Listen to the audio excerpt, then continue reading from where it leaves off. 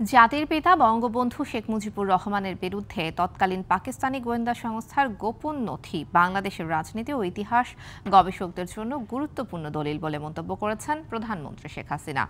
বৃহস্পতিবার স্থানীয় সময় সন্ধ্যায় লন্ডনে একটি হোটেলে বঙ্গবন্ধুর বিরুদ্ধে পাকিস্তানি গোয়েন্দা সংস্থার গোপন নথি নিয়ে প্রকাশিত secret documents of intelligence, branch on father of the nation, Bangabandhu Sheikh Mujibur Rahman এবং মুজিব অ্যান্ড ইন্ট্রোডাকশন বই দুইটির প্রকাশনা অনুষ্ঠানে এই কথা বলেন প্রধানমন্ত্রী। বঙ্গবন্ধুকে পাকিস্তান গোয়েন্দা সংস্থার গোপন নথিতে রাজনীতি ও বাংলাদেশের ইতিহাস নিয়ে গুরুত্বপূর্ণ তথ্য আছে জানিয়ে বঙ্গবন্ধু কন্যা বলেন, এই বই থেকে পুরো ইতিহাসটা পাওয়া যাবে। তিনি বলেন, মানুষ বইটি পড়বে, এটি নিয়ে গবেষণা করবে এবং অনেক কিছু শিখবে, তথ্য সংগ্রহ করবে।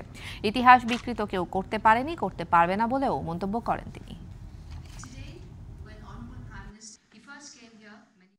I thank Taylor and Francis Group for coming forward.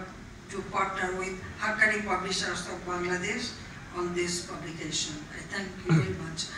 কাজে এখানে টেলর অ্যান্ড ফ্রাঞ্চাইজ তারা এটা পাবলিশ করছে তাতে একটা ভালো হলো যে আন্তর্জাতিকভাবে এই বইটা এখন মানুষের কাছে যাবে আমার মনে হয় পৃথিবীর কোনো দেশে পাবেন না যে এগেনস্ট অ্যানি লিডার একটা নেতার বিরুদ্ধে তার দেশের গোয়েন্দা সংস্থা কি রিপোর্ট দিয়েছে সেটা কোনোদিন কেউ পাবলিশ করবে নিজেরা উদ্যোগী হয়ে এটা হয় না। আমি করছি কি কারণে? আমার বাবার নাম ইতিহাস থেকে মুছে ফেলা হয়েছিল।